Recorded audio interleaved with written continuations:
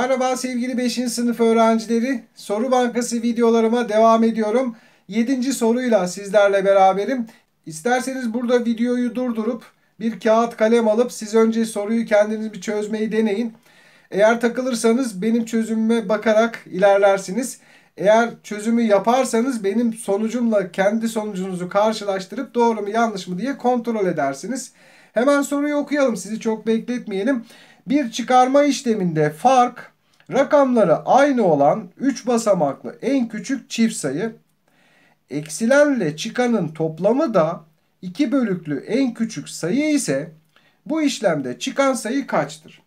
Şimdi ben soruyu çözmeden önce size çıkarma işlemiyle ilgili bir resim yapmak istiyorum. Şöyle bir çıkarma işlemi tasarlıyorum. Bir ekmek ve ekmeğin şu kadarlık bir bölümünü yedim. Yani bu e, çıkan sayı oluyor. Birazdan yazacağım zaten. Bu kısımda kaldı. Küçük bir parçada kaldı. Şimdi çıkarma işleminde biz bu e, baştaki sayıya ne diyoruz? Eksilen diyoruz değil mi?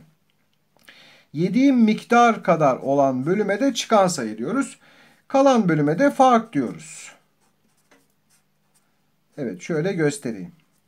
Şimdi yukarıdaki bilgilere bakıyoruz. Birazdan bunlarla ilgili e, anlatımlar da yapacağım. Fark ne, ne diyor? Rakamları aynı olan 3 basamaklı en küçük çift sayı diyor. Şimdi ben burada 0 0 0 yazamam.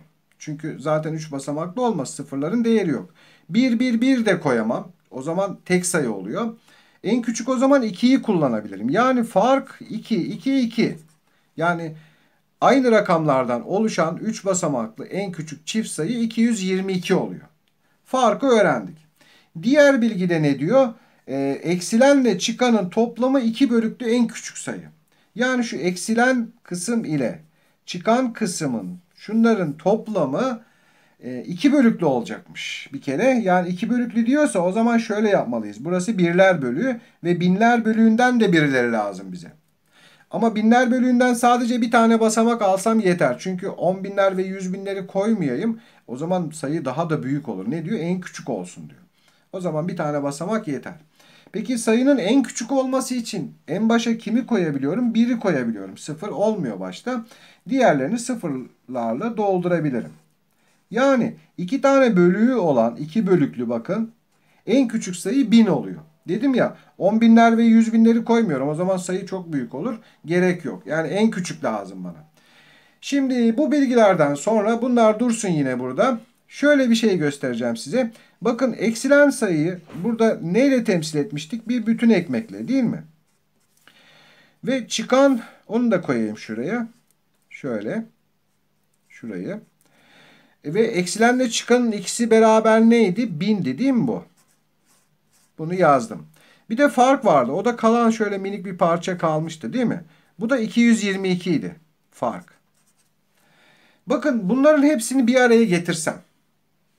Yani şurada bir bütün ekmek. Şunların ikisini de yapıştırsam yani bu da bunlara katılsa ne olur? İki tane bütün ekmek olur elimde. Yani şu 1000 ile 222 hepsini beraber bir sepete koysam şöyle olur. 1222 olur ve elimde de iki tane ekmek kalır değil mi? Bakın bir bütün burada var. Şunda yani şu da bunlara yapışınca ne oluyor? Bir bütün de bunların ikisi oluyor ve iki tane bütün ekmek oluyor. O zaman ben şimdi buradaki 1222 sayısını ikiye bölersem bir tane ekmeği öğreneceğim. Bir tane ekmek eksilen sayı demek. 2'ye bölelim bakalım. İlerleyelim şimdi. 1 de yok. 12'de 2 6 kere 2 12. Çıkarıyorum. 2'yi getirdim. 2'de 2 bir kere var. Tamam. Yapmadığım bir tane rakam var. Onu da getirdim. 2'de 2 bir kere var. İşte bir tane ekmek 611. Yani eksilen sayı demek bir ekmek. Bakın burayı öğrendim. Şimdi çıkanı artık bulabilirim. Bana neyi soruyor? Çıkanı soruyor. İkisi beraber eksilenle çıkan yani şuradaki bütün ekmekle bu yediğimiz miktar kadar olan bölüm ikisi beraber neydi? Bindi. O zaman ben binden şu eksilen kısmı çıkarırsam geriye çıkan sayı kalacak.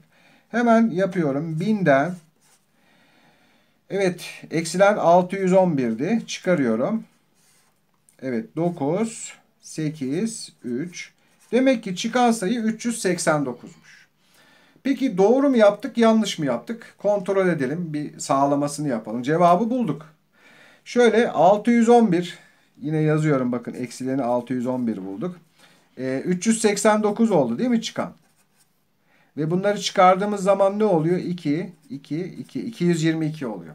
Peki şunların ikisi 1000 yapıyor mu? Evet yapıyor. Zaten burada görmüştük. Demek ki doğru sayıyı bulmuş olduk. Umarım sizlere anlatmayı başarmışımdır. Her zaman olduğu gibi iyi çalışmalar, derslerinizde başarılar diliyorum. Başka videolarda görüşmek ümidiyle. Hoşçakalın.